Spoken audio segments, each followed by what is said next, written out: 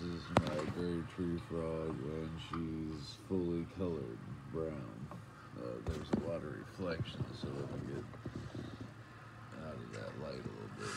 That's one, she's brown, with a hint of uh, some moss green patterns. Let's see the uh, leopard.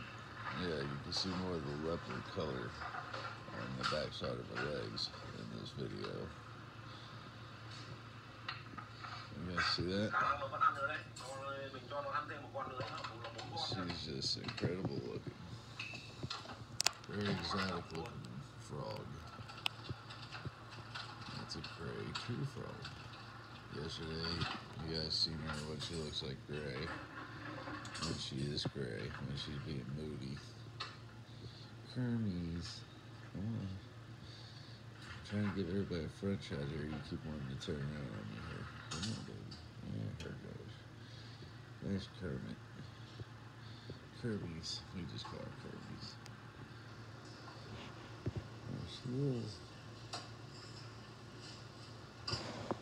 Mm-hmm. Hi. Hi. And I'm getting ready to do a feeding, so I just wanted to update that as far as the colorations are concerned. Say bye, YouTube. Oh.